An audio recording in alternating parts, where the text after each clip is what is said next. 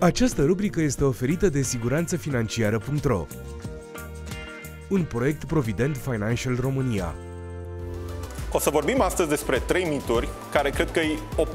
sunt trei mituri uh, de care cu toții la un moment dat ne-am ciocnit și sunt trei mituri care ne opresc poate uneori să prosperăm, respectiv să avem curajul uh, în a face ceva. Mitul numărul 1 de montat este prea târziu să mai încep un business. Există un uh, studiu făcut, e cel mai amplu studiu făcut pe glob, pe 2,7 milioane de startup-uri, care a dezvăluit că după 50 de ani, da.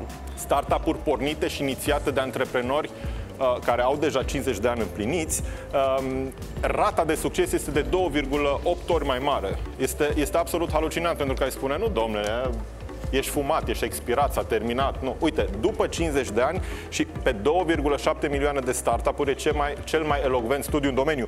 Uh, iar la persoanele de 60 de ani care se avântă în business, Mă, lasă-mă, nu spune. de trei ori. Da? Deci ideea, ideea e mai de succes și businessul are șanse să prospere de trei ori mai mult. Al doilea mit este că banii nu aduc fericirea. Ei bine, un studiu realizat de Universitatea din Princeton arată că banii aduc un echilibru emoțional și așteptări mai optimiste cu privire la viitor. În schimb, există totuși un prag de la care ei pot afecta fericirea. Cam care e plafonul? Că toți vrem milioane, milioane, milioane, bani mulți, 100, case peste 100 de mii de euro.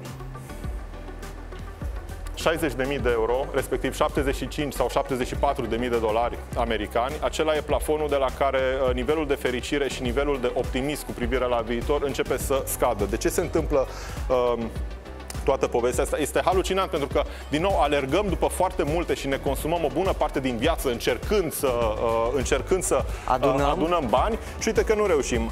Un venit mai mare și al treilea mit pe care îl demontăm astăzi în încheiere uh, înseamnă neapărat o viață mai bună. Ei bine, nu, pentru că în 7 din 10 cazuri apare așa numitul sau așa numitul fenomen al hiperinflației stilului de viață.